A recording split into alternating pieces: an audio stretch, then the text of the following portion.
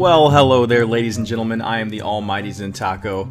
Uh, today we're going to be learning how to do a simple little thing, uh, tracking missiles to a target. Now, I don't have a lot of time today, so I'm going to just wing this. I haven't done this at all in advance. I have no idea what I'm doing, so keep that in mind when you watch this video. I'm probably going to have to go back a bit and edit things as we go. I've been really busy. Um, I'm studying for my M MCSA, so uh, these videos are going to be less and less frequent. I'm going to try to get at least one out a week, but unfortunately no promises. Okay, so first things first, as always, we're going to make a new project. Boom. Um, so this is going to be, like I said, tracking missiles, so we're going to need to insert an active object. Okay, so this first object is going to just be the thing that gets uh, blown up. We're going to control, click, and drag. I'm going to make a whole bunch of these. Let's actually increase the size of our frame to give us more real estate to uh, play around with the movement of our missile. So we're going to make this application 1280 by 720. And yes, we want to enlarge the frame. Boom, there we go. All right, let's uh, let's throw these things around. Okay, so now we need a missile object. Let's go ahead and insert one now. Boom. We're gonna name this missile. Missile.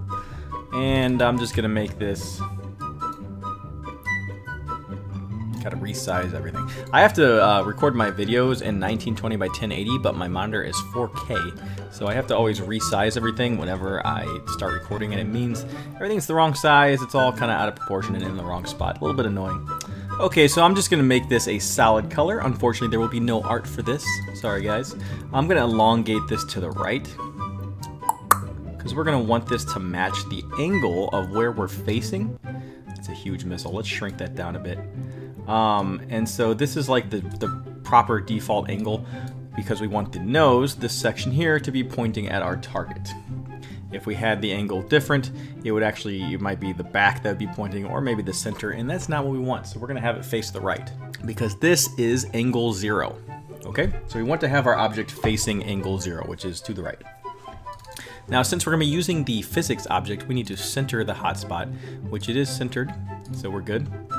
Let's go ahead and right click and insert the physics object because that's how we're gonna do this. Where is it? Where is the physics object? There it is, physics engine. So throw that in here. This physics engine is very powerful, can do all kinds of cool stuff. We're just going to use it to uh, make these missiles fly. Okay, I also do not want this to create at start because we only want these missiles to show up whenever we spawn them. So uncheck create at start. And uh, we need to tweak the movement. It's currently set to static. We want it under physical movements static. So physics, static movement.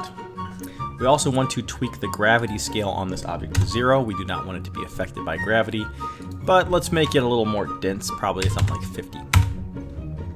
All right, let's do some stuff. Um, I don't know if we need any IDs. I think we can get away without having IDs. Let's find out. Let's um, let's create this whenever we click. So we'll go to the mouse and we'll say user clicks, and that's with the left button and a single click. When that happens, we're going to create the missile just, just stick it somewhere off the frame because we're going to reposition it. And then go to the missile, select position, set its x coordinate to, and type this in, x mouse, which is the x position of the mouse. And then we are going to set the y coordinate to the y mouse, which is obviously the y position of the mouse. The missile will be created at the mouse.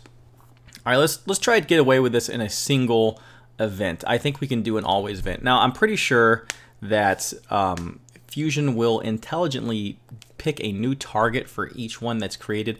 I'm not sure. We're going to find out. So after we uh, create this, we're going to do this. We're going to change the angle. So set the angle of this object to, um, let's go to position angle of a vector.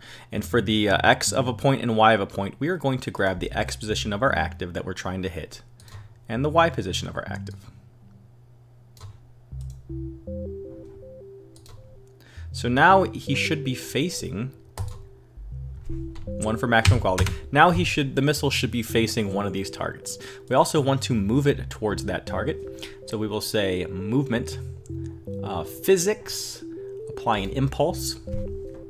Let's give it something very small, like 1. And the degree uh, angle is going to be the angle of our uh, missile. So go to uh, no, no, no, no, angle.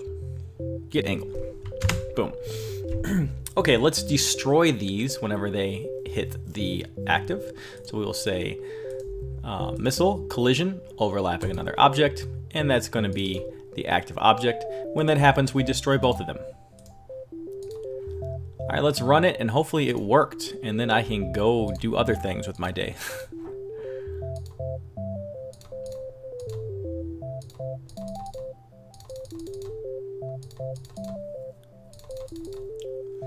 Okay, so as you see, it does seem to work. Not perfect though. Let's let's do something else. Let's see what happens if we spawn multiple missiles at once. Also, these missiles are really long. I'm going to shrink them down. All right, so when we click the button here, we're going to start a loop. This is the best way to spawn multiple objects and set them up all at once with the least amount of effort. So we're gonna start a loop and I'm gonna call it missiles. Uh, we're gonna run it five times because we wanna create five missiles. So now we're going to say on loop missiles. Uh, what we're going to do on loop missiles is the same thing we did here on line 1. We're going to create the missile. So I'm just going to drag that down. And then we're going to set its position to the mouse. Drag that down. Now I need to delete these things here because we just want to run the loop whenever we click. Make sure that we are creating it first, which we are. Now this is going to create five missiles when we click. Let's see if they all target something different. And they did. Look at that. Boom. That's pretty that's pretty intense. Let's uh let's change the frequency from always to something else. Let's say uh, every 5 milliseconds. So now we're going to track less frequently. Might make them slower too. Yes. Let's find out what happens when we uh, periodically create new targets to to shoot at. So we'll say uh, every We'll make it every one second, and we're just gonna create one of these actives, throw it off the screen. Then we need to set the position to a random value based on the size of the frame. So go to position, set X coordinate. We'll say random frame width. Oops, wrong, wrong thing there. Uh, and then uh, we're gonna set the position, the Y coordinate to random frame height.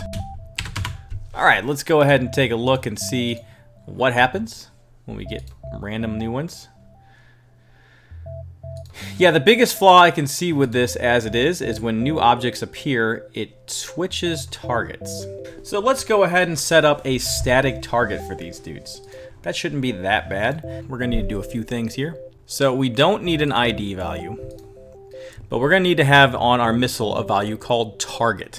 What we're gonna do is we're gonna grab the uh, actual IDs of these, the built-in IDs, and we're gonna plug them in. So what we're gonna do is we're gonna find out if, under the missile, if the alterable value of target equals zero. And that's true whenever we have not had anything targeted yet.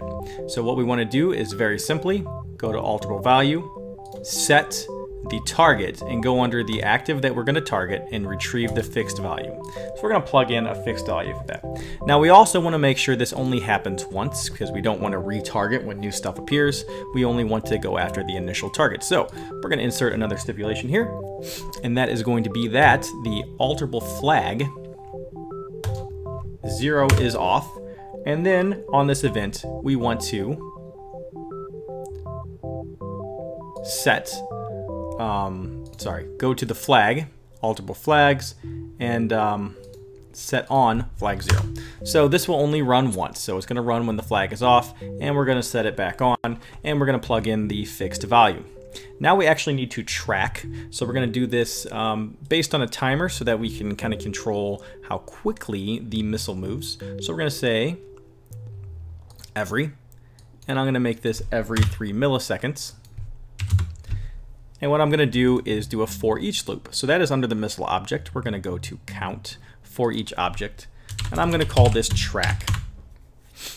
Okay.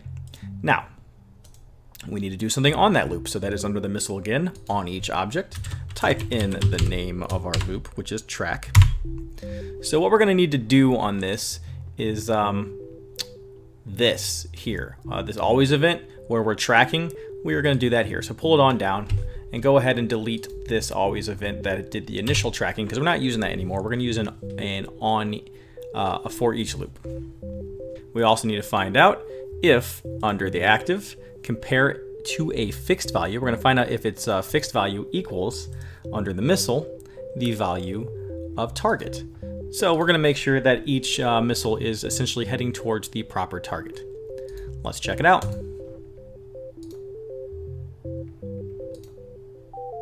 Okay, so they go after their targets directly, um, and they uh, they don't change once a new target appears. So they're just after those targets. Now, if there are no targets, they do kind of spaz out a little bit. So we would probably want to destroy them or not allow you to shoot missiles when there's no targets. And we could do that this way.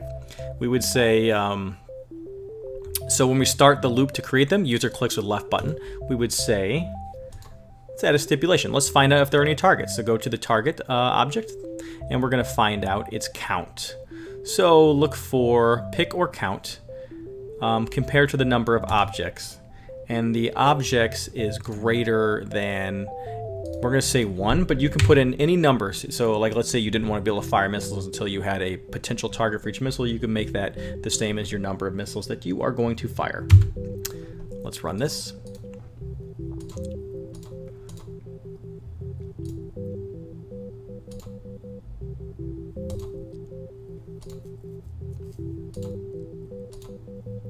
Okay, so it won't shoot when there's nothing.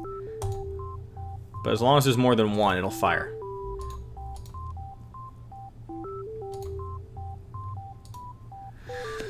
Alright guys, so that is our tracking missiles that go straight after our targets.